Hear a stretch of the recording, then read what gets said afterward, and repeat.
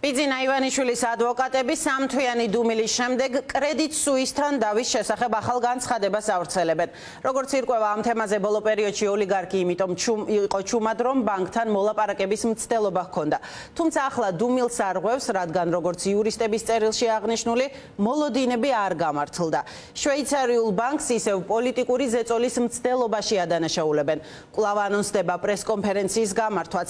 ადვოკატები კრედიტ სუის საკრიტიკებენ ევროპ პარლამენტის რეზოლუციაზე დაყრდნობით მიღებული გადაწყვეტილების გამო.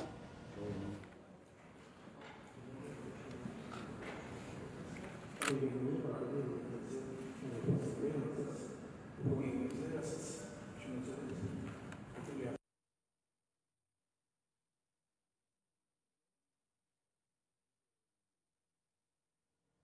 ერთი მხრივ ბანკის მენეჯმენტი ერთ-ერთი ტრასტის მართული თანხებიდან, სადაც მსხვილი თანხა გადმორიცხვის განხორციელებაზე უარს ამბობს და სასამართლოში გვიშვებს ევროპარლამენტის იმ რეზოლუციის გამო, რომელიც იგნორირებულ იქნა როგორც ევროსაბჭოს, ისე ევროკომისიის მიერ, რითაც გაგვიფორმა გადმორიცხვის დაგვიანება სუმცირე 1 წლით, 2022 წლის მარტიდან 2023 წლის მარტამდე. ისიც თუ სასამართლო მარტში შედგა გერნსიზე. ხოლო მეორე ტრასტის მართული თანხები უპრობლემოდ გადმორიცხვა ევროპარლამენტის პარლამენტის უფრო ძლიერი რეზოლუციის მიღებიდან მეორე დღესვე.